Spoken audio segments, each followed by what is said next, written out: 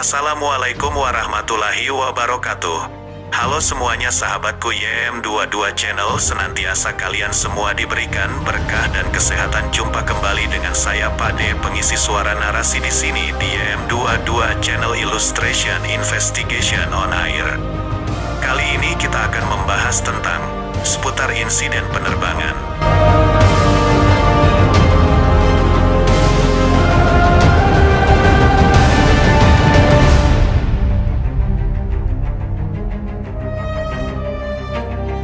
Indonesia merupakan sebuah negara yang terdapat di Asia Tenggara. Negara ini merupakan negara kepulauan terbesar di dunia. Negara ini memiliki lebih dari 17.000 pulau yang tersebar sepanjang katulistiwa. Oleh karena itu, transportasi udara merupakan salah satu transportasi utama di negara. Ini, semenjak tahun 2000, peraturan mengenai penerbangan di Indonesia mulai dilonggarkan. Hal ini menyebabkan banyaknya maskapai-maskapai penerbangan baru di Indonesia.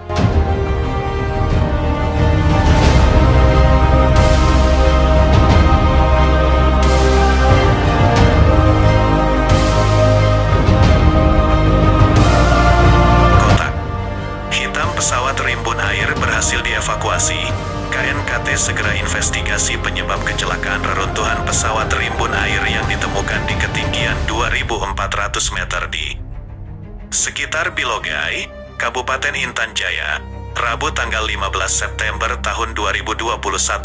Tim SAR yang merupakan gabungan Basarnas, aparat keamanan, dan kantor otoritas Bandar Udara Wilayah X. Direktorat Jenderal Perhubungan Udara Kementerian Perhubungan, Kemhub, telah mengevakuasi black box atau kotak hitam pesawat PKOTW milik Rimbun Air beserta ketiga kru pesawat, tim SAR.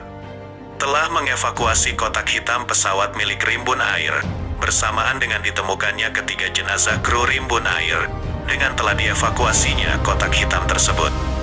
Maka Komite Nasional Keselamatan Transportasi, KNKT, akan segera menginvestigasi penyebab jatuhnya pesawat dapat kami sampaikan bahwa keberadaan ketiga kru sudah ditemukan dan telah dievakuasi bersamaan dengan kotak hitam tersebut, seperti diberitakan pesawat milik maskapai Rimbun Air seri Twin Otter 300 dengan nomor registrasi. PKOTW dilaporkan hilang kontak pada Rabu, 15.9.2021, pukul 7.30 waktu Indonesia Timur, dan ditemukan jatuh di Gunung Wabu, Distrik Sugapa, Papua, pesawat PKOTW dengan rute penerbangan Bandar Udara Nabire menuju Bandar Udara Bilorai di Distrik Sugapa, Kabupaten Intan Jaya tersebut memuat kargo berupa bahan bangunan dan terdapat manifest tiga penumpang yang kesemuanya merupakan awak pesawat atas nama Hamirza, pilot, Fajar, co-pilot, dan Iswahyudi, teknisi, saat ini penyebab jatuhnya pesawat rimbun air masih didalami dan diinvestigasi oleh pihak KNKT Indonesia.